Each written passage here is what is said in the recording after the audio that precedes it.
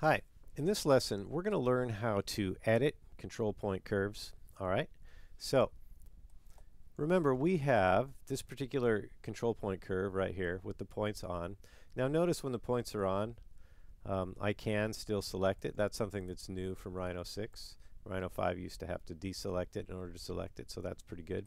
What I'm going to do is I'm going to copy this. Just type in copy and I'm going to grab it and I'm going to move it up here and I'm going to hit escape. All right. Now, you'll notice in this particular curve here, one, two, three, four, five, six, seven, eight. It has eight control points. What I can do is I can rebuild this curve, right? And I can make it have extra control points. So I'm going to select this control point curve and I'm just going to type in rebuild, right? You can see up here, there it is. Type in rebuild and I get this little flyout here and it says currently I have 8 control points. Would I like to have 10 control points? It's also telling me it's a degree 3 curve. You can go uh, as low as 1 or as high as 5 in terms of the degree curve and you'll see that that actually changes things up a little bit but we're going to go ahead back to 3 we're going to talk about that more uh, a little bit later alright now what I'm going to do now is I'm going to go ahead and change it from 8 control points to 99 control points. And I'm going to hit OK. All right. Now you'll notice that as we look at these two curves, they look exactly the same.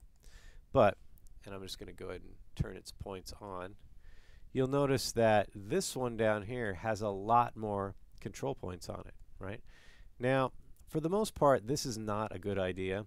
Really, the fewer control points you can build a curve with, the nicer the surface, the resulting surface that's created as a result of those curves is going to be.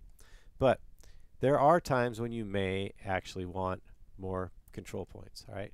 Now, for example, remember down here, if I grab this point, it has a tremendous amount of influence over this curve.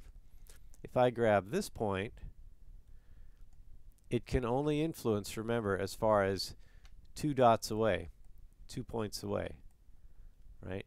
So one thing that you can do with a control point curve that has 99 points is something like this, right? That would not have been possible, would not be possible to create that curve or this curve with this few control points, right?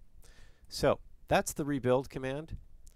For the most part, what you want to do is rebuild it. You know, there may be reasons to rebuild. Maybe you need an odd number of control points. Maybe you are concerned, generally when you're rebuilding, you're simplifying and you're reducing the amount of control points. But there are reasons.